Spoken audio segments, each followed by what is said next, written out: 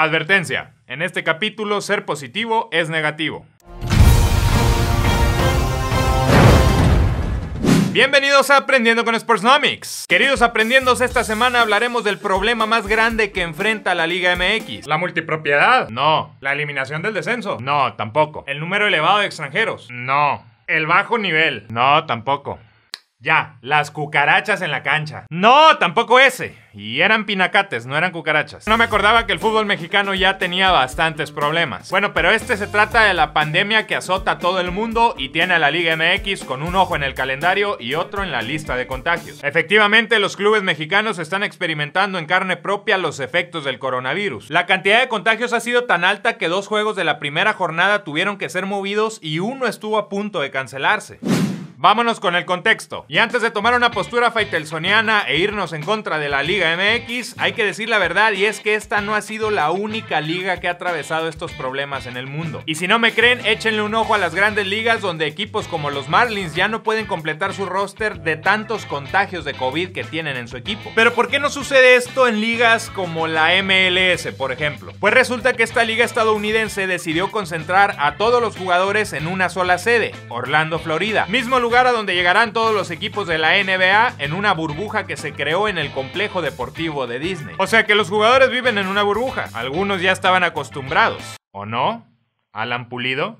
Los jugadores pueden solicitar permisos especiales para salir de esta burbuja solo en casos de fuerza mayor, pero tampoco se quieran pasar de vivos como Lou Williams de la NBA. Hey coach, fíjese que mi tío el de Albuquerque falleció y no pude ir al velorio aunque sí me gustaría ir a darle un último adiós. ¿Y vas a viajar hasta Nuevo México? Oh, no, no será necesario. A él lo trajeron aquí a Orlando porque le gustaba mucho Disney World. Así es que solo necesitaré algunas horas en la noche. Ok, Lou.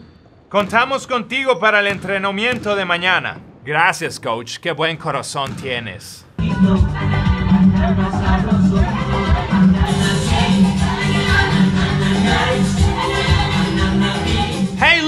Estás haciendo aquí? No, coach, no es lo que piensa. E-, ellas son mis primas.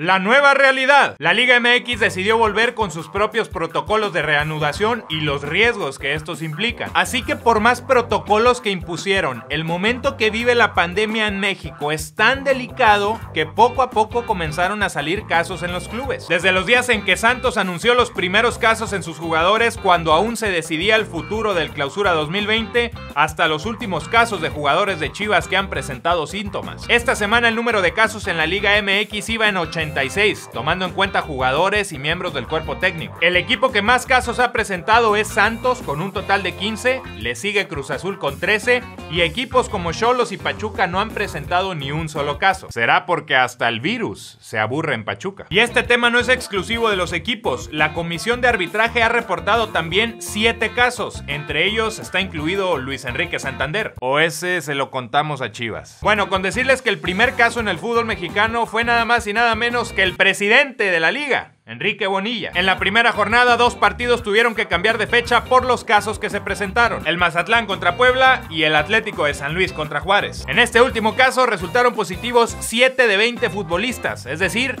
no completaban ni la banca. Así que no les sorprenda si empezamos a ver este tipo de situaciones. A ver, van las alineaciones. Eh, de portero va el entrenador de porteros. De defensas van López, Martínez, Sánchez y...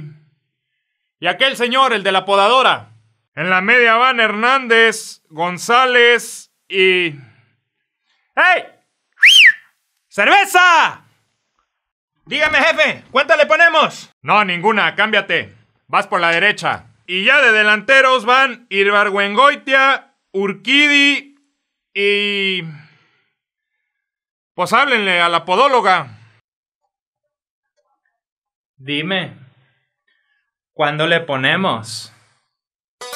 Oh, you touch my -la.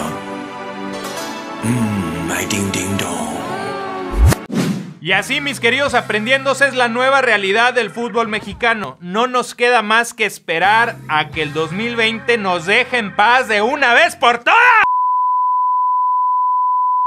Déjanos en los comentarios qué te pareció este video, qué opinas acerca de los protocolos que está tomando la Liga MX. ¿Son suficientes? ¿Hay que parar? ¿Hay que continuar? ¿Qué podemos hacer?